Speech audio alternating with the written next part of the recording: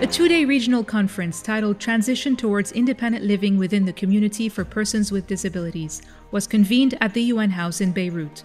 The conference was organized by ESCWA and focused on the right for persons with disabilities to live independently.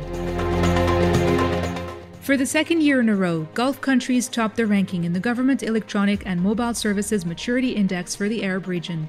18 Arab countries contributed to this year's report, issued by ESCWA.